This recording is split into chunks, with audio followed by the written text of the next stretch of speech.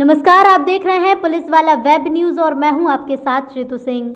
Rewa police अधीक्षक राकेश सिंह को आज तड़के मुखबिर से मिली सूचना के बाद सामान थाना क्षेत्र के आज़ाद नगर में किराए के मकान में रहने वाली युवती के घर पर लोडेड कट्टा लेकर घुसे यूपी निवासी रोहित पटेल नामक शातिर वांटेड बदमाश को एसपी के निर्देश पर सीएसपी ने सामान पुलिस और स्थानीय लोगों की मदद से घर की घेराबंदी कर दस दरवाजे को तोड़कर गिरफ़्तार किया गया है। रीवा ज़िले के अतिरिक्त पुलिस अधीक्षक शिव कुमार वर्मा ने मीडिया को जानकारी देते हुए बताया कि पुलिस अधीक्षक को सूचना मिली थी कि एक युवक पिस्टल लेकर समान थाना को समान थाना क्षेत्र के आज़ाद नगर में किराए के मकान में रहने वाली महिला के घर में रोहित पटेल का नाम का वांटेड अपराधी घुसा हुआ है जिसके एसपी के द्वारा तत्काल ही इस पूरे घटना की जानकारी समान पुलिस को, समान पुलिस ने एसपी की सूचना पर तत्काल ही आज़ाद नगर घटना स्थल पर पहुँची और घर के चारों तरफ़ घेराबंदी करके घर का दरवाज़ा तोड़कर आरोपी को पकड़ने का प्रयास किया।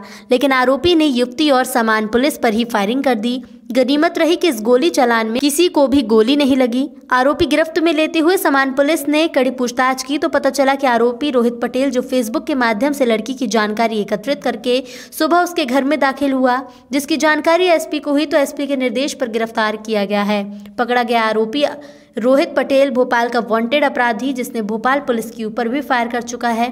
पकड़े गए आरोपी पुलिस कड़ी पूछताछ कर रही है और पुलिस ने आरोपी के पास से पिस्टल बरामद कर लिया है। पकड़ा गया सर क्या है? ये रोहित संघ नाम का आरोपी है। सुबह सुबह पुलिस को सूचना मिली थी कि एक फरियादी है रितु उसके घर में घुसा हुआ है। इसने पुलिस को खबर की पुलिस पहुँची तो इस पुलिस को वो लिए वो दरवाज़ा नहीं खोलने दे रहा था। बड़ी हिकमत अमली से पड़ोसियों के घर के माध्यम से दूसरे की छतों में चढ़ के पुलिस ने फिर दरवाज़ा तोड़ के आरोपी को पकड़ा। आरोपी ने ऋतु नाम की जो महिला है, उसके ऊपर फायर भी किया था। उसकी तरफ़ से 307 का प्रकरण पंजीबद्ध कर लिया है। आरोपी को पकड़ने के लिए जब पुलिस गई थी तो पुलिस पे भी उसने फायर करने की कोशिश की, लेकिन फायर मिस हो गया। जिससे कोई दुर्घटना नहीं घटी है आरोपी को गिरफ़्तार करके वैधानिक कार्रवाई की जा रही है। कितने बजे घटना सुबह सुबह की पाँच बजे के आसपास। ये आरोपी क्या था?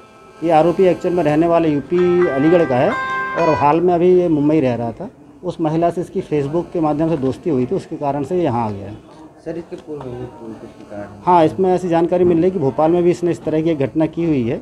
उस घटना के बारे में भी भोपाल से पतासाजी कर रहे हैं। यूपी में भी इसका कुछ? अब इसका रिकॉर्ड लेने का प्रयास करेंगे अभी ये कार्रवाई चल रही है।